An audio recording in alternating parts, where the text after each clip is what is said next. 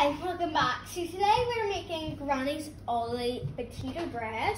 So this recipe is actually going to be in later in the video, so you can actually follow it yourself and make your potato bread. But before we start, I think you should know that potato bread is commonly eaten by lots of people in Northern Ireland, some people in Scotland and some people in the Republic of Ireland. But anyway, the first thing is you get a potato, well, a few potatoes, and peel them.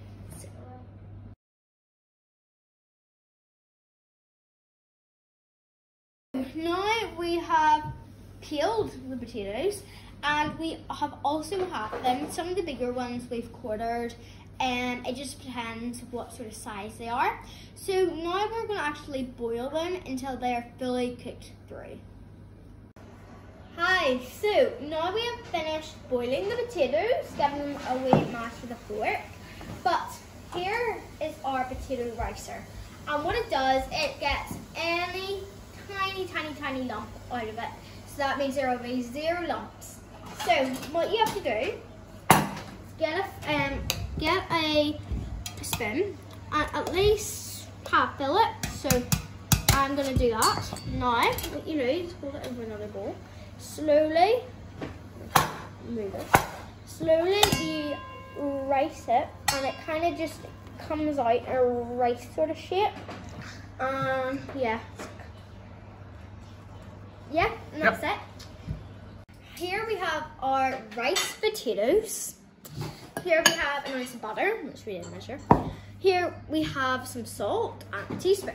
So we're gonna start by adding uh, ounce of butter, an ounce of butter into our rice potatoes. And then we're going to measure a teaspoon of salt, a very level teaspoon of salt. You don't want a heap teaspoon of salt. I think that's enough, yeah, yeah, yeah. That'll do. Add that in. And then you give it a good mash. Now, when you're done with mashing it, you have to knead it bar. Make sure it's really, really kneaded in. Now we have our mashed potatoes, very nice and buttery. So what I've added in, what I've done is I've added in some flour.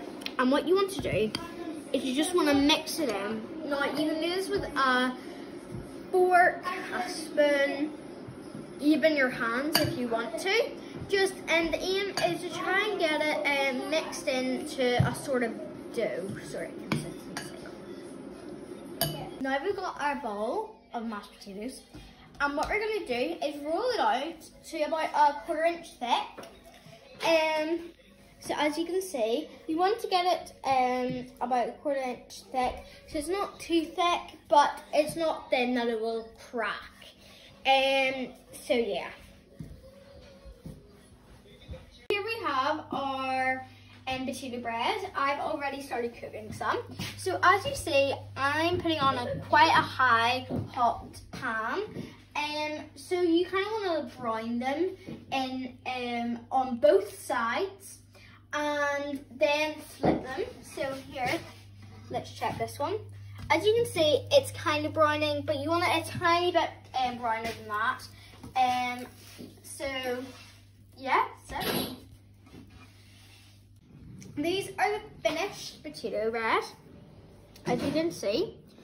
They're meant, um, they should look crispy on both sides. Mm -hmm. They're just absolutely amazing. You can eat them with tomato sauce, vinegar, or just put a little bit of butter on the top. But they taste so nice and I love them.